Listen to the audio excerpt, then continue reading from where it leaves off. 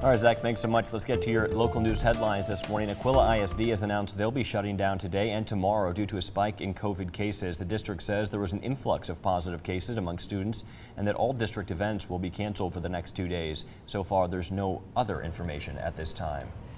This morning, Connally ISD students are headed back to school after the sudden and tragic passing of two middle school teachers due to COVID-19. And as they do so, masks will be required for all students and staff on what will be undoubtedly a very hard day for everyone in the district. That's where we find our own Texas Today's Barry Roy with more. Good morning to you, Barry.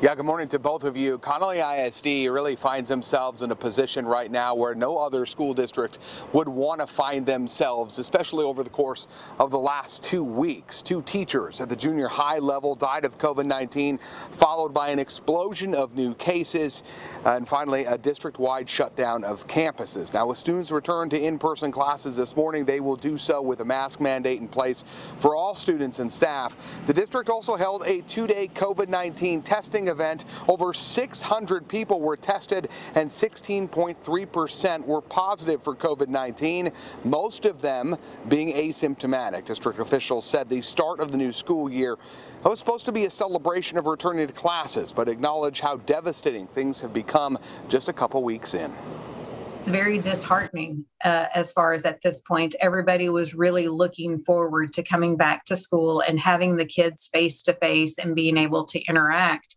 Um, and then just how quickly the tide turned. The district says they are now turning their attention to wearing masks and sanitation, asking everyone to be as vigilant as possible moving forward.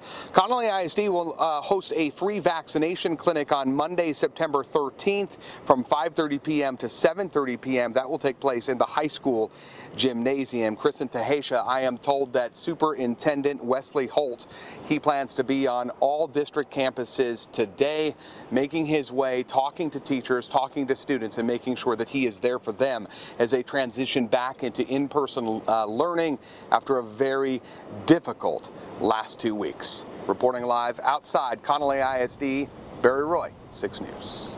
All right, Barry, thanks so much. Meanwhile, more schools across central Texas are mandating masks for anyone on campus. McGregor ISD announced all students and staff will be required to wear masks in school and on buses. That's effective immediately. And River Valley Intermediate of Midway ISD will be requiring them for the next two weeks. In a video newsletter, the principal says the campus will reevaluate COVID protocols after September 17th.